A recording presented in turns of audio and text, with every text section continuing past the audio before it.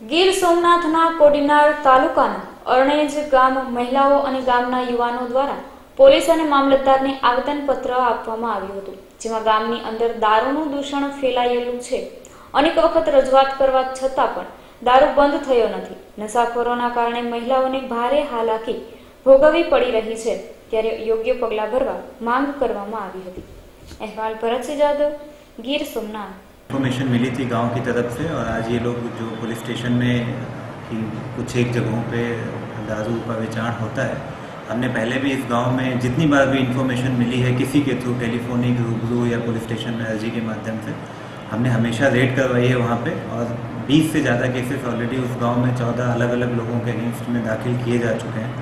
पूरे Kodinar police station की बात करें तो हमने मैक्सिमम टीम्स बना के जितनी भी इंफॉर्मेशन हमें मिली है एंड अगर फक्त नंबर्स की बात करें तो पिछले साल से more than thirty percent cases extra Kodinar police station ने गिर सोमनाथ ज़िले ने किए हैं। तो इस चीज़ को हम बहुत सीरियसली लेते हैं पूरे ज़िले के लिए कि कहीं से भी हमें कोई प्रोहिबिशन से रिलेटेड कोई भी एक्टिविटी की अगर इन्फॉर्मेशन मिलती है, तुरंत उस जगह पे जाके रेड करें एंड आगे की जो लीगल प्रोसीजर्स होता है, उस पर एक्शन लिया जाए। वो लोगों का कहना है कि वो रेड होती है, उसके बाद फिर वापस शुरू होता है, उसको अब हम कैसे बंद करेंगे देखिए, अगर रेड होने के बाद वहाँ पे दोबारा हमें उस जगह से ऐसी कोई फर्दर रेड होती है और फर्दर केसेस रजिस्टर होते हैं तो हम जो प्रोहिबिशन एक्ट में जो प्रिवेंटिव एक्शन है, उसके अगेंस्ट में एक्शंस लेते हैं। पासा, हथपारी जैसा अगर फिट केस बनता है तो उसके ऊपर एक्शंस लेते हैं। तो ये सारी कामगिरी हम